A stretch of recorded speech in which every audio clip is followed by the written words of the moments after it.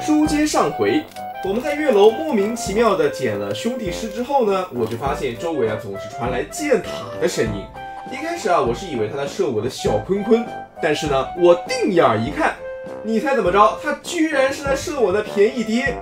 我爹呢也傻不愣登的撅个大腚站在门口挨射。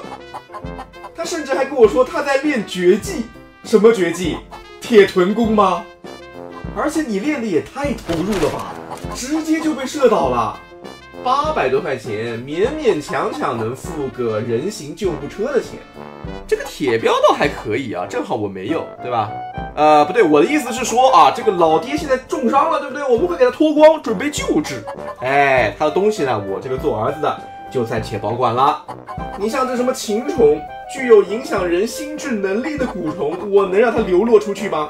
我得亲自是，这我我得亲自把它封印起来。就这么把它扛起来，不太合适吧？要不先给它放下吧，我看看怎么救。哎，等一下，气血灵，生命灵。哦，他已经死了。哎，这什么情况啊？不是应该会重伤倒地吗？难道说被箭塔射是直接致死了？还有，老爹来门派看儿子，这合情合理吧？为什么箭塔会射他呢？鸿门之谊，亲密挚友梁七秀的箭塔。哎，等一下，我记得好像我进入这个门派的时候，我摸过这个箭塔，上面是有一个占为己有的呀，对吧？哎，怎么现在不行了呢？而且我刚刚发现好像是对，他们在高处又盖了个箭塔，之前这个好像是没有的吧？哎呦，差点忘记我爹了，好家伙，飞起来啊，飞起来！我们找一个风水宝地啊，给它埋了。比方说，我觉得我们掌门的这个小楼后山就是一个非常不错的地方，对不对？哎，就放在这个地方。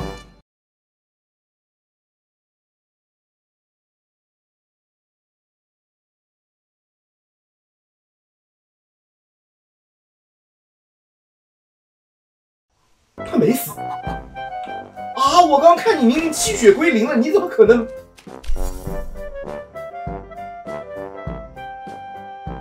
这武侠世界还有鬼的是吗？不知道为什么啊，这个刚刚一点放了下就给它丢出去了。正常来说的话，哎，你看是不是它是放在原地的？哎，就很奇怪。我觉得就把它葬在这个山头吧，还挺合适的。天天就飘在这个山头啊，盯着我们的掌门。哎，谁让掌门放的箭塔给他射死了呢？然后呢，我们用传送到出生点这个功能，直接回到我们开局的这个船上。所以你开局这块地啊，尽可能的放在你整个世界的中心，这样的话比较方便啊。我们现在就出发前往洛沙堡啊，去找宋红月啊，因为我们之前的包裹啊是被他买走的。这小子他是不是要打我呀？我们之前打了个盗匪呢，也是这样的啊，就是他上来想和我们这个抢钱嘛，然后呢看清我的真容之后呢就怂了啊。我估计是因为我们嫉恶如仇的那个名望名声啊，所以说呢有了这个效果。多谢大侠不杀之恩，小的以后想跟着你。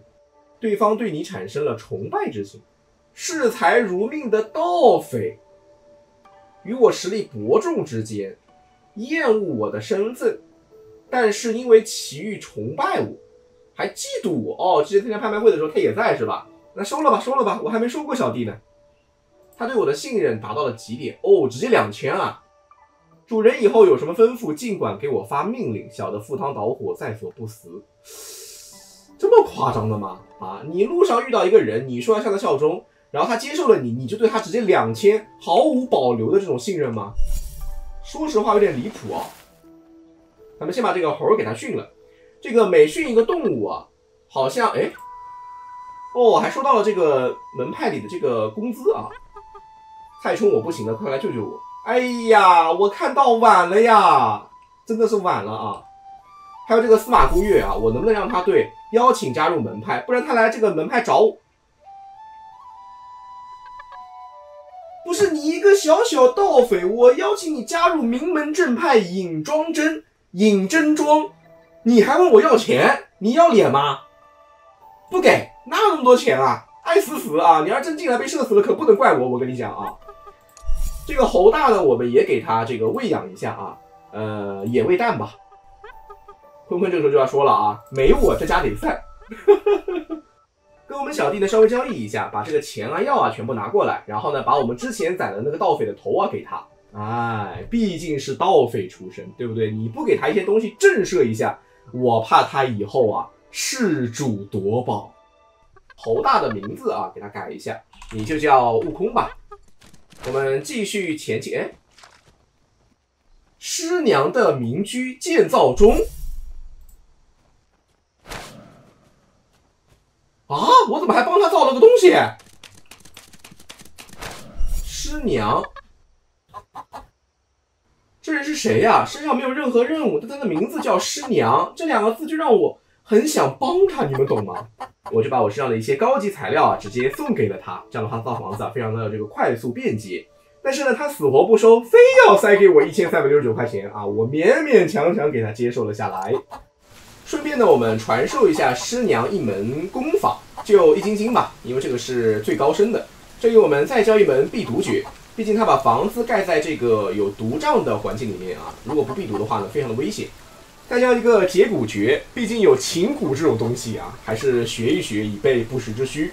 五绝功，哇，我跟你说，就算是亲爹也没有说一天传你四门内功的，对不对？我们的便宜爹就教了我一个，然后就跑了。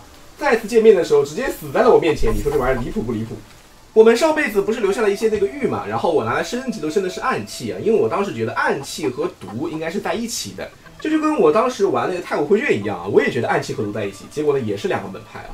所以我们这里呢就来一个暗器流派，竹香坛，这个门派叫灵牛派啊。你一个玩暗器的，你跟我说你叫灵牛，既不飘逸也不聪明，更不暗器呀。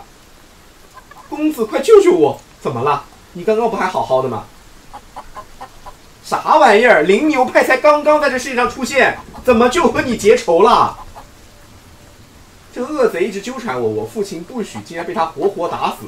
这恶贼还要逼迫我从了他，小女子宁愿去死。这是这个师娘的一面之词。如果我们信了他的话，肯定是要帮的。但这个冯三笑啊，哎，你这个名字，我觉得你也是做得出这种事情的，对吧？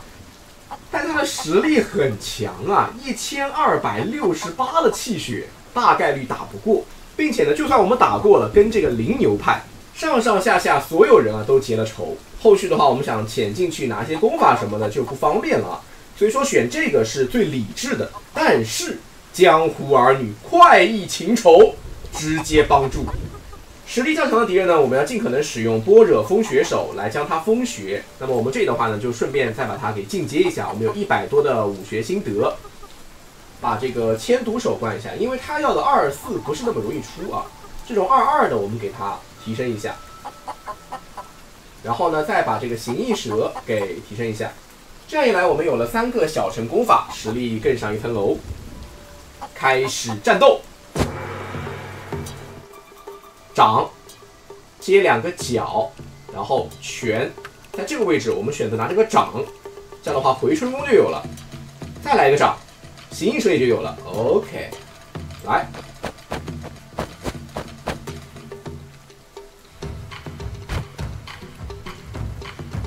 对目标造成了腿部残疾，但他喵他打的是妙手空空靠手的，风雪手有没有机会？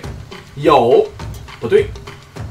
这个腿法不是我们自己的腿法，不行啊，那就很尴尬呀。但是呢，我们能抽一个，还能再抽一个腿啊！天助我也！天助我也！哎呀，再来一个掌就好了。哎哎，天要亡你啊，冯三笑！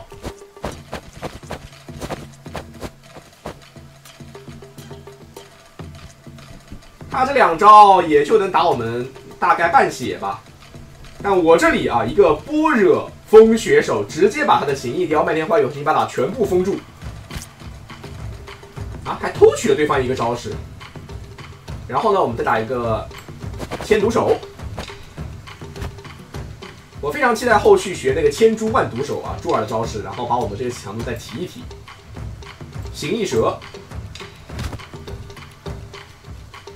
残疾腿、风雪，哦，还自己还上了个尖刺，十五层的毒障，我们自己呢吃个药，烤肉，十层的回复，暗器，暗器，暗器，我们要想办法用这个掌给它破了。第一个掌的话呢就没办法啊，我们先出拳，然后呢接掌，这样的话克制他两个招式，然后呢再换成拳，再克他一个招式，这样的话彻底破招。我们的师娘还帮我们打了一招千毒手，我们先回点血。哇，他这一波居然打了多少招？九招，加一十招吗？啊！那如果我先出兵器克一个，然后呢转成掌再克一个，然后换到腿，把这个转成腿，然后再腿腿腿腿腿，这样的话我打出了应该是九招，呃还能出两招这个。哎，有风雪手，好啊好啊。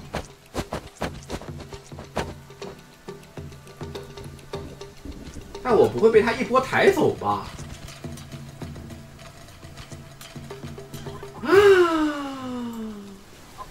哇，我觉得我已经尽力了啊，但确实是没有打过。说起来呢，我们跟刚刚那家伙打的这一架，就是为了师娘啊。我们毕竟跟那个人无冤无仇啊，只是有点看不过眼。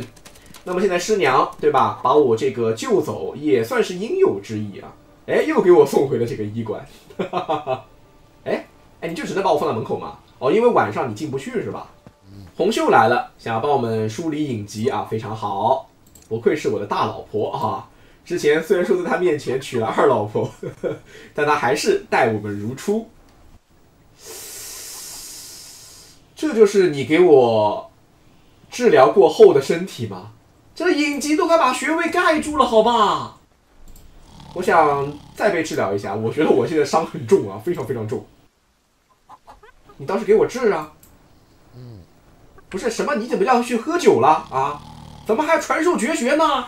你没看到我都快经脉寸断了吗？你还让我教你武功？他身上也有一些影疾啊。哦，这就是之前那个癫狂影集，你们还记得吧？就是我们找二老婆的时候搞到的。呃，这个影集不是很多啊，我们可以把它治了。那我帮你治好，你能不能帮我治一下呀？我真的快死了。你能帮我治疗吗？问题是我躺到床上，你也不给我治啊。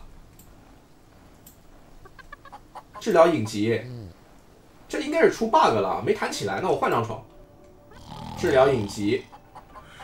哎，真治不了了呀？为什么呀？算了，治不了就治不了吧，我们再等等啊。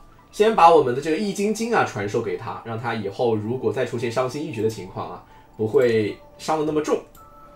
那这样吧，我们先看一下之前买的两副藏宝图吧，因为我现在这个血量也不可能去打盗匪了。玄火结心功，织造心得乘九啊，连这种织造心得都能放在这个宝藏里面，滥竽充数吗？那我们就来到这边的山峰峰顶，把这个宝藏啊也拿到手。宝箱是个陷阱啊，还能这样的？还好是不掉我这个生命力啊！你但凡掉一点，我就得死在这山顶上。我们来到荒沙坡，找一下这个宝箱，还有悟道石。这里面是口井吗？哦，不是，这里面应该就是藏匿宝箱的位置。我们先把这个蒸汽恢复完毕。啊这个毒蛙我记得特别牛皮，我跟大家说，但是我只是拿个东西，问题也不大吧？哇，五十本锻造心得啊，贵贵。走了。呃，这只毒蛙的话，我们后面啊，后续再跟他打。我记得它是有几千点血啊，远远不是我们现在能打得过的。来了一只狼，然后把它驯服。你这颜色有点尴尬呀。如果你是纯黑，我可以叫你哮天犬；如果你是纯白，我可以叫你白狼。如果你是上面黑，下面一点点白，我可以叫你乌云踏雪。你这这这你就叫哈士奇吧。完了，我太漂亮！哎，我服了，好吧，一不小心又掉下来了。等一下，我好像找到了，对，悟道石，游龙惊梦踏云去，崩雷冲霄邪风来。飞龙在天展宏图，见龙在田悟乾坤。领悟绝学，万兽奔腾入门。每驯化一次动物，伤害次数加一。哎，那这个可以啊，我已经是驯化了有四个了。这种赐福，我现在觉得呢，就应该拿各种各样的伤害啊。你像这种功法吧，其实得来还挺容易的。兵器加二。旁边这片区域的悟道点，我们也来领悟一下。日入龙城玉清杯，形如舞动却摧。龙元一醉邀明月，叱咤风云酒气开。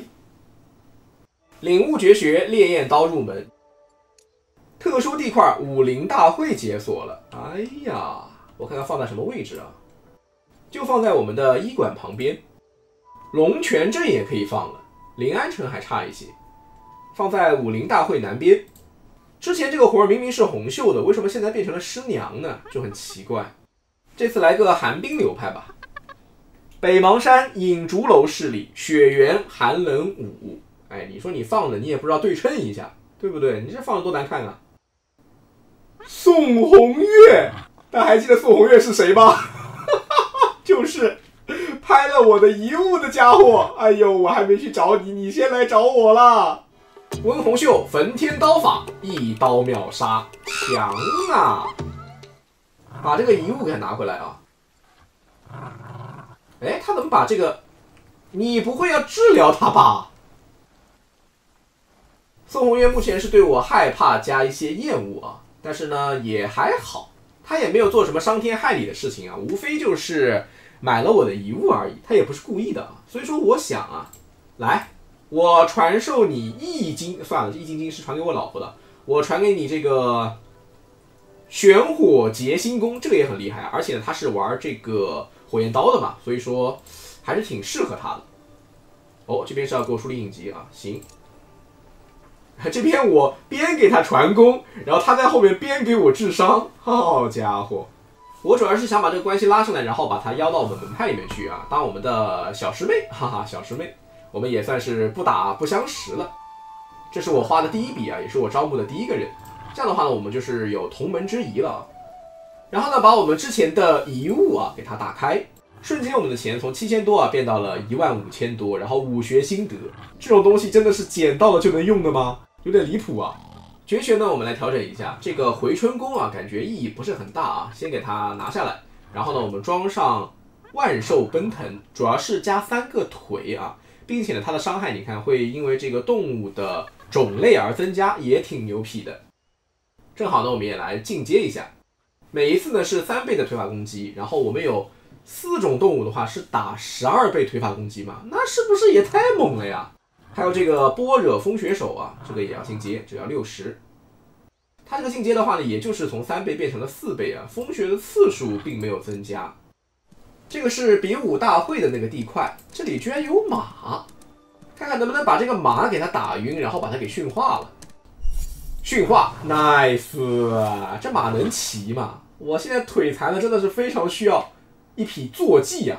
解锁天命，天生授予，可以直接驯化动物。哦，还真可以啊，还能把它改装成马车，白马是吧？那你就叫迪卢啊。照例，我们喂它一颗鸡蛋，然后我就发现，就算我骑了马，我的速度也还是这么慢，就跟我瘸腿走路的速度是一样的。哎呀，什么意思吧？我瘸腿跟我这个马有什么关系啊？奇奇怪怪的。江西烈，江湖散人。呃，先不管你啊，我要去找那个医馆馆主，看一下位置啊。城隍庙医馆，哎，就在这边啊。医馆馆主，我能直接骑马进去吗？下马，然后我躺在这儿，他应该会为我治疗吧？要钱无所谓啊。舒服了，舒服了，果然还是花钱治的痛快啊！只花了一千五百块钱，我瞬间又生龙活虎了。江九通，哇，一千九百的气血，比我们这个掌门还要猛，你知道吧？洗髓功，大量增加气血和负重，大量化龙功，每驯化一种动物增加属性，贵贵，只要态度大于二百就行。哇，二光龙马精神行一猴，你这个绝学不怎么样啊，内功特别强势啊。三件套加一个奇术，一共四个啊，拉到了两百关系，我们可以把这个化龙诀给学了。然后这个洗髓功的话呢，我们的轻功能力不够强，哎，这就很尴尬呀。先学化龙功，我想了一下，不如我们把这个穴位给它改成回。哎，这样的话呢，易筋经。哎，等一下，这个地方要调整一下。我们这个经脉呢，分成了三块啊，你们看，左上角一块，右上角一块，还有下面这一块啊，每个呢都是六个。而我们左上这块呢，六个呢，全部都被我们易筋经用上了，包括还有回元一气和吐纳法，就非常完美。然后化龙功也是六个，所以说这边六个最好是能符合它，或者说下面这六个。但是吧，你们仔细看啊，它是要两个圆三个回，两个圆三个回，还有一个三角，嗯，就不符合啊。除非把这一块和这一块混着用，但混着用的话呢，我们后续的功法就不好搞了。所以吧，我们最好是再搞一些这个。转窍穴、转穴位的东西啊，打那个毒蛙是可以掉的，但是我们现在肯定打不过，嗯，就有点尴尬。要不我们先随便凑合着先用着吧。圆、回、三角、回，呃，这样的话就浪费了很多啊，你们发现了吧？我们可以把这个改成回，然后再圆，然后再把这个改成回就可以了。但问题是我没有那么多改，呃，那就先改一个好了。先改一个，先把这改成回，然后这样的话可以直接连接，然后再到这个圆，然后再到这个回，啊，先这样。终于知道为什么我骑上迪卢速度还那么慢了，并不是因为我瘸了，而是因为迪卢它本身也瘸了。啊，我瘸了可以在医馆治，那迪卢瘸了怎么办呢？我又不能骑着迪卢然后躺在病床上，你看不行的，我也不能让这个。医生江九通来帮我们治这个马，那不是完了吗？我就只能骑着这个瘸腿马了。在江寒雪的布庄里面，我买到了做改装马车所需要的这个东西。我去找铁匠铺买了十五个铁矿，完了之后呢，再去搞了一些木头啊，就可以把这个改装马车做出来了。但是我们这是一个瘸腿的马，所以说导致这个马车它也不会很快的。哦，果然马车里面是可以放东西。呃，问题是我做出了马车，这迪卢还能不能跟随我作战了呢？这就不知道了。这个高处的房子看起来就非常的富丽堂皇。龙泉这里面呢，我已经全部逛完了，里面的 NPC 呢功法大同小异啊，我就直接出来了，准备过来把这个地方的盗匪师给他灭掉啊。成功完成挑战，我们再拿一个掌法加二。我们现在需要的是竹音台。如果说一波刷出来没有的话呢，我们就重新点进来一下。你看是不是竹音台就出现了？有了这个竹音台，我们就可以把我们的轻功啊再上一层楼，然后呢就可以去那个镇子里面学习更加高深的内功了。但这个好像哦，果然你看它是有这个荆棘的。哎，那这个荆棘好啊，这个荆棘是可以。哎，为什么这边会有个晕掉的老鹰啊？我操，正好被哎。哇，这个老鹰这么大的啊！我感觉我如果一不小心晕倒在它面前，它能把我吃了。哎，就这么夸张。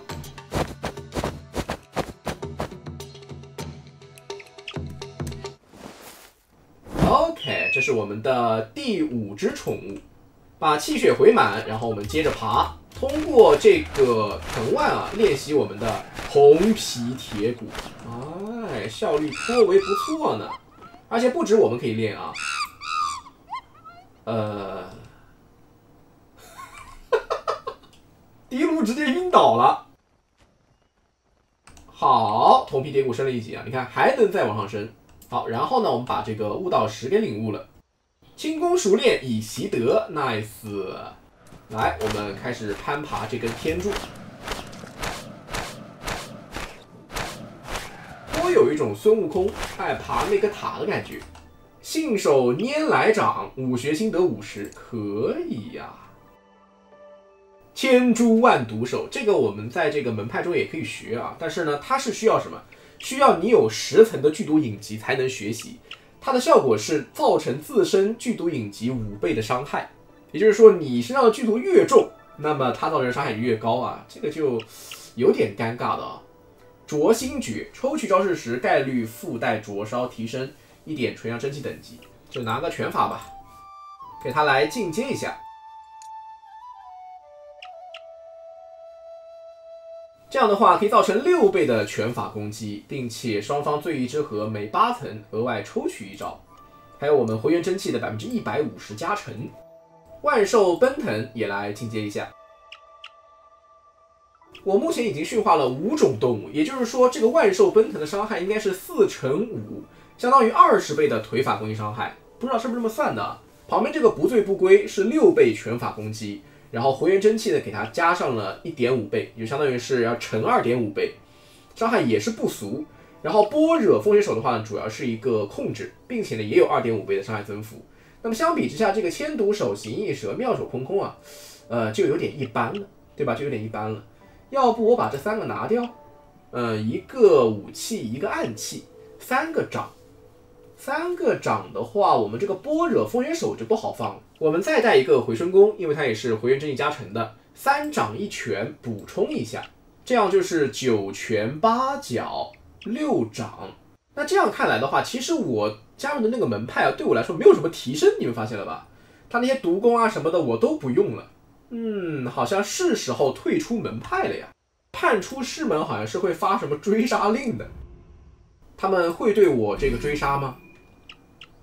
好像并没有啊，只是师门里面清空了哦。你看这个梁希秀啊，跟我的关系还是非常好呀。来自百寿宫的门派邀请哦，哦还能这样的？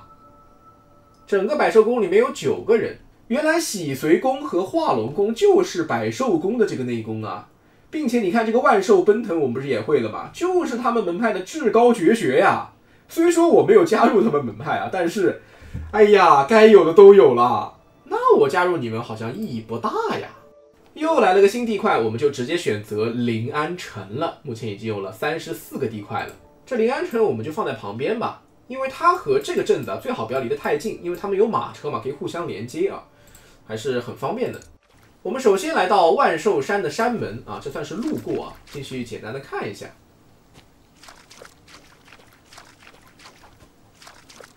感觉好像比我之前那个门派恢宏了一些。剑塔据为己有，啊，这其他门派的剑塔我可以直接拿进来的吗？百寿宫大殿，哦，这个是百寿宫的公主吧？哎，你为什么打我啊？不是，哎，我不是就拒绝了？你的邀请而已吗？小有结怨，嫉妒哦！我身上穿的传说，鄙视厌恶干嘛呀？索要物品，可以了吧？哎呦，给了他两件价值四百的这个装备啊，他就放我走了。哇，这个人真恶心！还好我没有加入他，你知道吧？他也觉得装备真不错的，两件破白装有什么不错的？哎，这个库房里没有人值守吗？啊！喜随宫万兽奔腾吐纳法浑元一气龙马精神，哦，可以呀。这个书架上的东西还不错，我们就随便拿两个啊。触发门派禁忌，判出师门，你即将受到来自门派的惩罚。尹真庄还想再把我邀回去，好家伙！我仔细的想了一下，我觉得我还是加入那个。寒霜门派比较好啊，就是打冰冻的。武林大会又开始了，五派掌门比上一届武林大会难多了，好吧？欢迎来到武林大会现场，感谢各位江湖朋友参加本届武林大会，共襄盛举。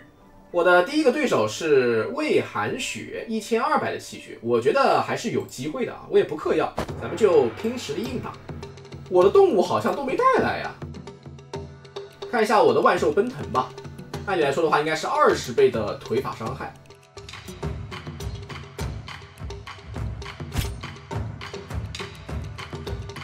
你在逗我吗？哇，一轮游吗？这不是？五头，哇，绝学造成的伤害增加百分之一百，我操，这我能不要？神器啊！真气加二十，我操！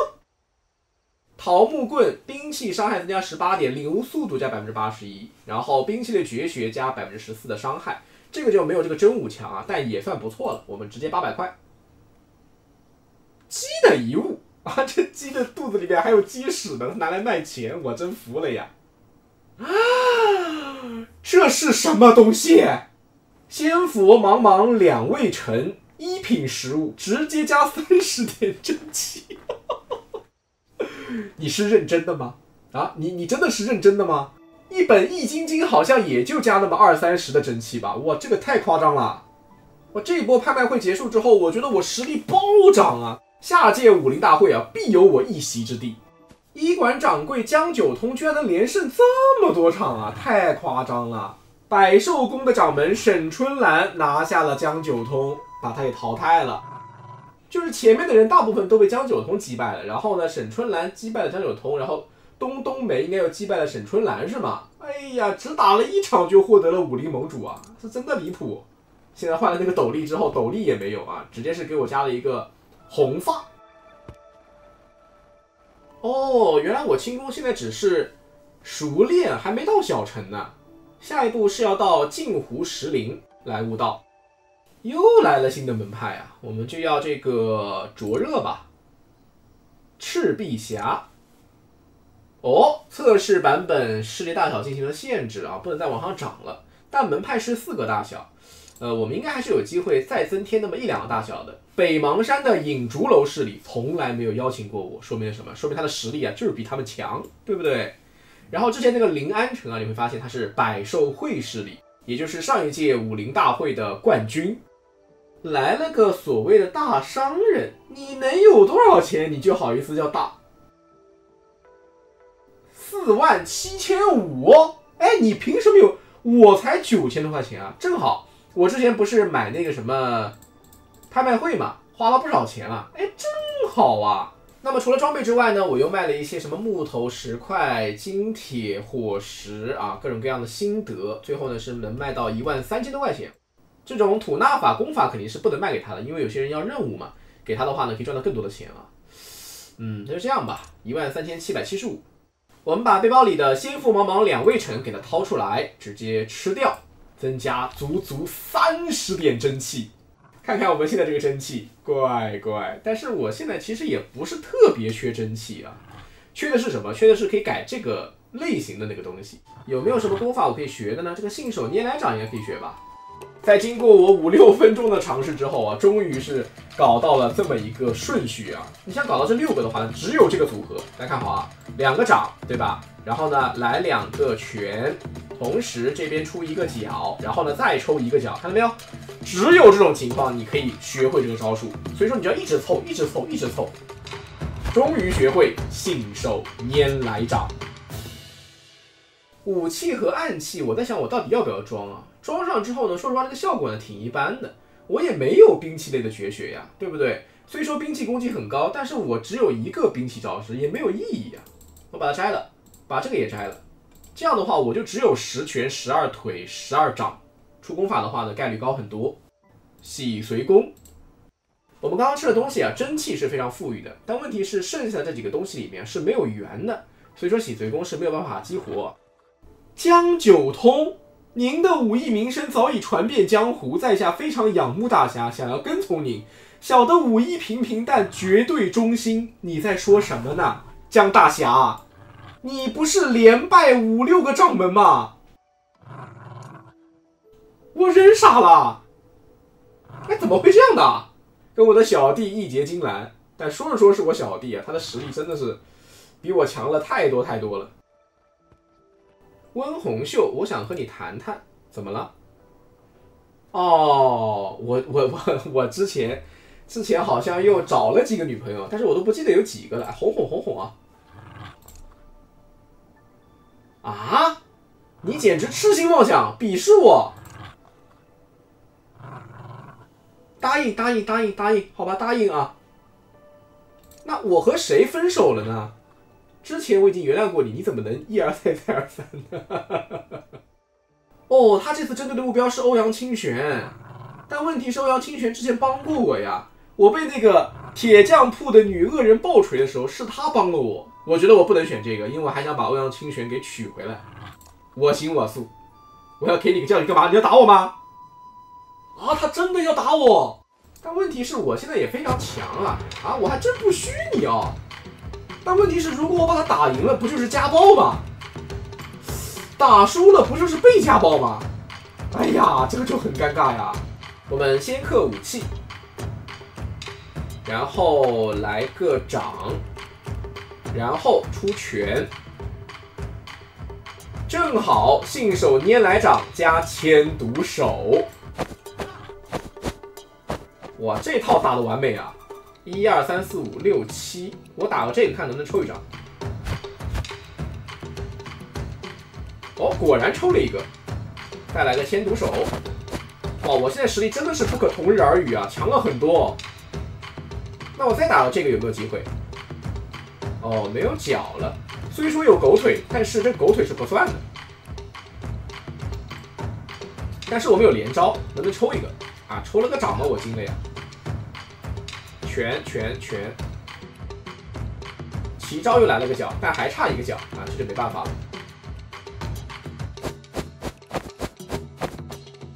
哎呀，我这算什么呢？武林大会上我唯唯诺诺，关起门来家暴我重拳出击。但其实不是的啊，我跟他这只是对吧？夫妻之间的打情骂俏，对不对？妙手空空。这里我们直接五脚踹翻。为了表达我的歉意啊，赶紧教他一下洗髓功啊！这个功法还是非常厉害的。虽说他现在还没有生效啊，但是我觉得应该会很厉害。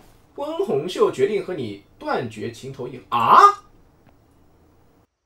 大侠实力超群，在下知道几个险恶之地，有可怖生物，是不是那个毒蛙呢？极恶寒潭。熔岩火山丈云岭，挑战一下极恶寒潭吧。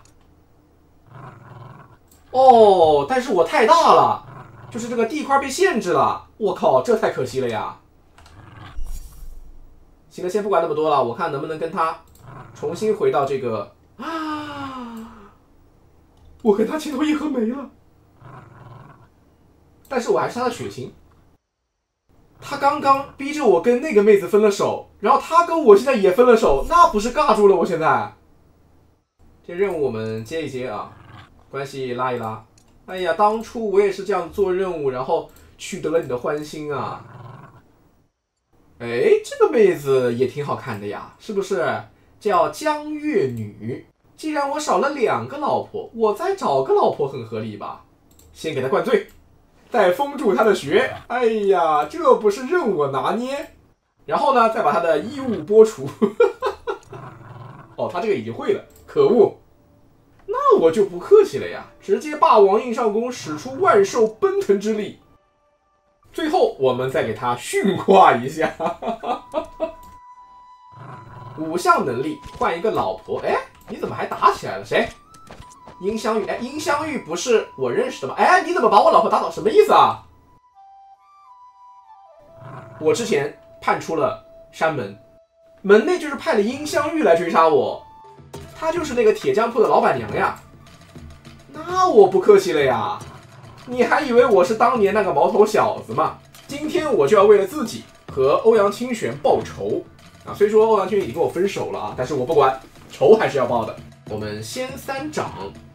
然后切武器，再来拳拳拳，这样可以克他一招。哇，他这里直接腰子上中了我一拳啊！贵贵，形意神妙手空空。哎，我们刚刚虽说好像取得了一定上风啊，但是一个招式都没触发，就很尴尬。这波看有没有机会啊？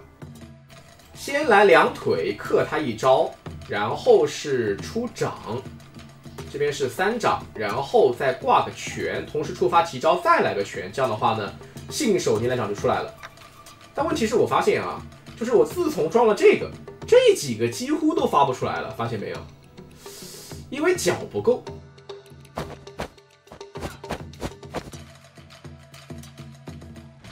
哦，蛇形雕手加妙手空空，打了我们三分之一吧。曾经那么强的音香玉啊，现在看来也就不过如此。来个信手拈来掌，然后呢，牵毒手，克制克制，全全全全全全，可以出一个不醉不归，并且克他两招。大成不醉不归，加二点五倍的回元真意加成，这个伤害非常不错。脚脚脚脚，拳掌掌，破他一招，出一个般若风雪手，可以。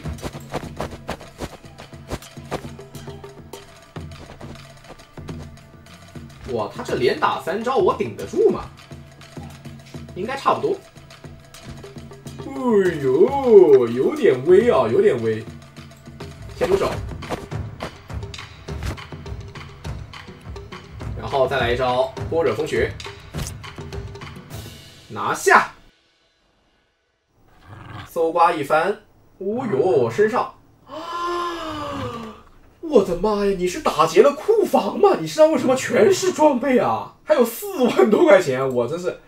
想不通，真想不通啊！杀了肯定是不行啊，就废个武功吧。想了想，就废个千毒手吧，以示惩戒。如果下次再来，那必屈辱向上首级。我废除了他的武功，欧阳清玄、江月你对你的好感增加了，然后门派内的其他人对你的好感降低了。这个信手拈来掌啊，我们给他进阶一下。到了小城之后就是三倍伤害，然后抽两个招式了，哇，这个真的很强啊！如果我们还能有这个纯阳真气的话，就更强了。那要不我们这个化龙功就不要了，因为它这个增加属性就很不明显，你知道吧？玄火结心还有洗髓功搞出来，这两个都是纯阳真气。这里三角圆圆回。回三角，哎，可以呀，哎，这不是很完美吗？回三角，哎呦，又是因为没有圆，发现了吧？只需要改一个圆就可以了，可惜呀。你看这样子回去啊，我的真气都是够的。和之前的区别呢，就在于我们没有了这个所谓的化龙功的动物属性增强，但是有了两点的纯阳真气。这样一来，我们信手拈来掌就强化了很多啊！本来是打两倍抽一张，现在打三倍抽两张，还多了百分之一百的伤害增幅，非常不错。好的，那么至此，我们这一期啊，大概用掉了有七个小时左右的素材啊，还剩下三个小时左右的素材，我们放到下一集啊，因为它到二十六号之后就不能玩了嘛，所以说我一天录了十多个小时，把素材全部录完了的。看在我这么勤奋辛苦的份上，大家一定不要忘了点赞、投币、收藏三连哦。在下一集中呢，我们将会挑战各路英雄好汉，直到夺取武林盟主之位。